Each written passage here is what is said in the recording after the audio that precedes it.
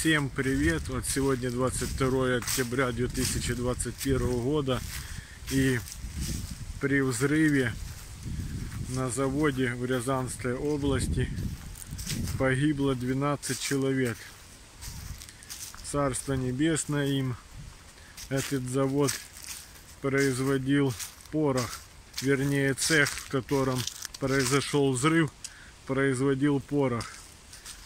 Так что 12 человек пострадали, вернее уже мертвые, а двух еще до сих пор не могут найти.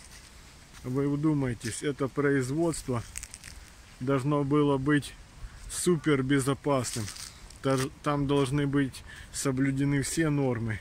Я сомневаюсь, что в этом цеху соблюдали все нормы, так как состояние даже разрушенного этого цеха говорит о том, что вряд ли там соблюдались какие-то нормы безопасности.